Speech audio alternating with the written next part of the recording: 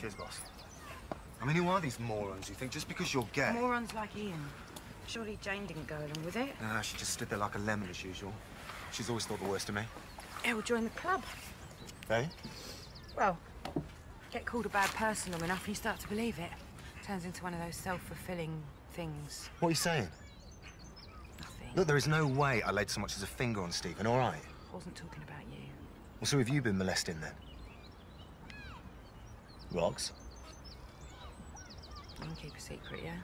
Sure. I, um... I ended up in bed with one of his ex last night. Jack Branning? Don't. I feel awful. Oh, baby, you got an attack of the guilties. I can't even be in the same room as her because I think if she looks at me, she'll know.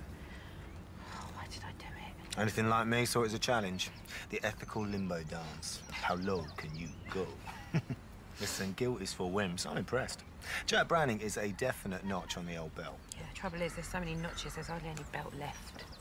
So what's the problem? Is he going to have? Hardly. So what then? We didn't use anything. You are joking. You need to get yourself down to clinic, girl. I've already had all this from the chemist. Chemist? Morning after pill. So why haven't you taken it? Who says I'm not?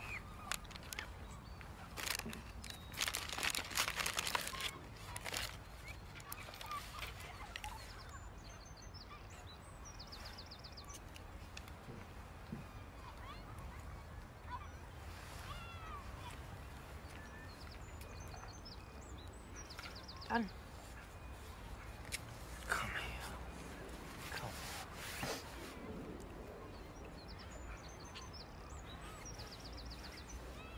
Now, you and me are going to form our own club. Just the two members. And what club's that then? The everyone hates us, but we don't care club. Oh, why did you have to be a poofter? Why'd you have to be a girl?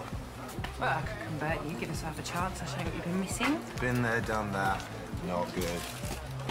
Why can't I just have a boyfriend like you? I'll be your boyfriend. As long as you can live without the exchange of bodily fluids. Can we make it official that I've got a couple? Maybe, of course. As long as you don't call me your fag hag. Not at all. Be a perfect couple. And nobody need ever know. know what? The sick, evil, twisted, mutant freaks we really are. So when's our first date? I'll call you. Wish me luck. Go on.